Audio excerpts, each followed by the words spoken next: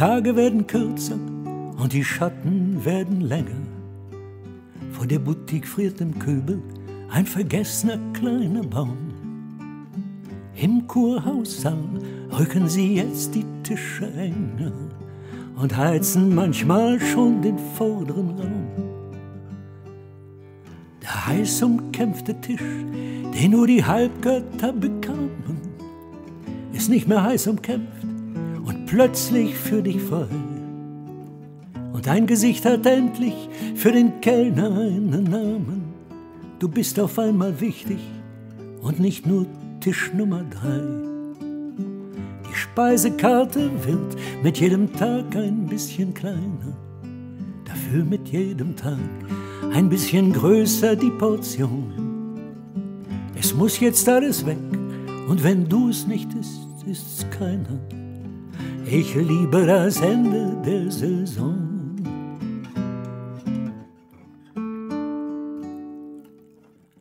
An den verwaisten Fahnenmasten klopfen lose Leinen. Und irgendwo dort drüben schlägt ein Gartentor im Wind.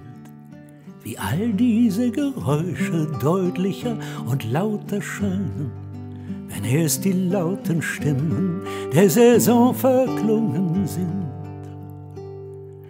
Sich jetzt zwei begegnen, ist das fast eine Verschwörung und Wildfremde erzählen dir ihren ganzen Lebenslauf. Im Flüsterton den Sprechen wäre jetzt schon eine Störung. Jetzt hat nur noch die Post und morgens der Schuhladen auf. Einen Sommer lang bist du um ein Paar herumgestrichen. Unverschämt teuer, doch gefallen würde es dir schon. Seit gestern Abend ist das alte Preisschild durchgestrichen. Ich liebe das Ende der Saison.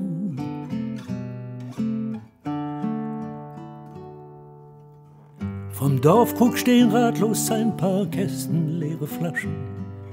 Im Schaukasten gilt ein Menü aus längst vergangener Zeit.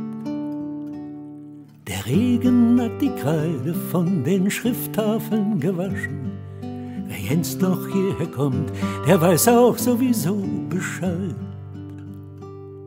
Wer jetzt noch hierher kommt, der hat gelernt, sich zu bescheiden. Und wenn er wieder geht, wird er ein Stückchen weiser sein. Du brauchst im Leben wirklich nur, um keine Not zu leiden, einen Freund, ein Stück Brot, Töpfchen Schmalz und ein Glas Wein. Und all das gibt es hier noch allemal an allen Tagen. Und wenn du klug bist, werden Leib und Seele satt davon. Ach übrigens, die Runde geht auf mich, hör ich mich sagen. Ich liebe das Ende der Saison.